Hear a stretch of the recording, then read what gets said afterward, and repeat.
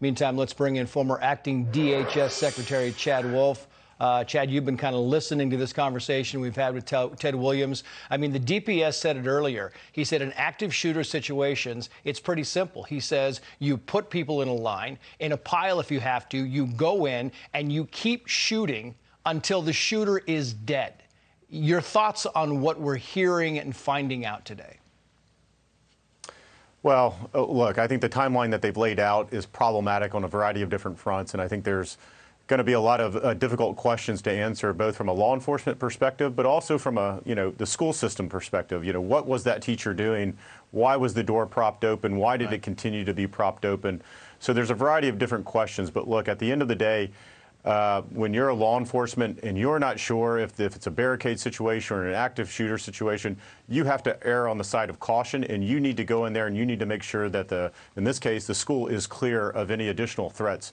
You know that there's additional students in there. You know that they haven't all been evacuated as the timeline lays out because they actually start evacuating them later in that uh, in that timeline. So you, you know that students are still there, and so you have to take that initiative to go through and make sure that those students continue to be safe.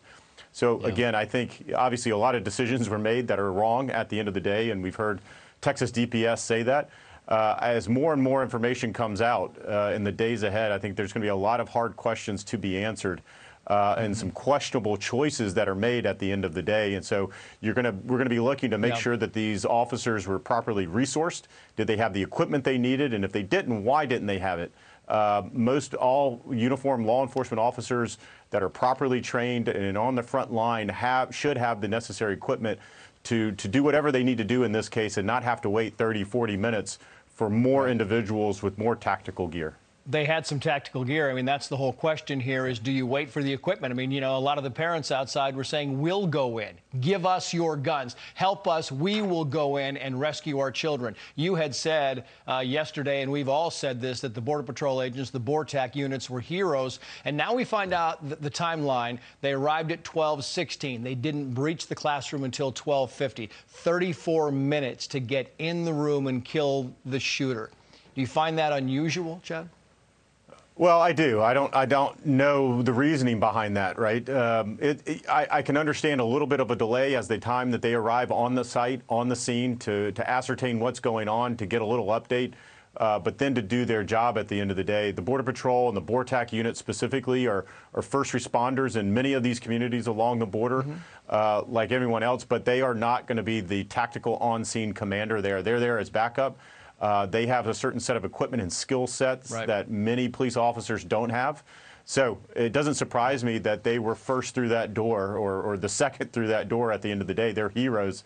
Uh, but they should have uh, they right. should have been put in a position to act much sooner.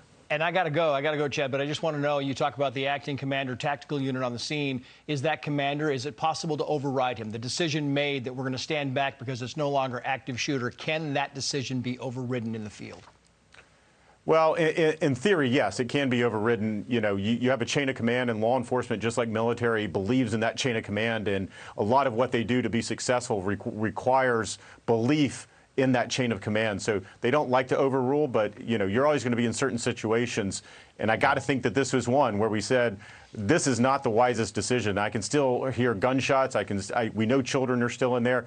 Maybe there's another way to do this. And the parents could hear the gunshots. The parents were across. They yeah. could hear the gunshots. They were begging with police. Everybody could hear the gunshots, and yet they stood. Chad Wolf, always great to get your insight. Thank you for coming on. We appreciate it. Thank you.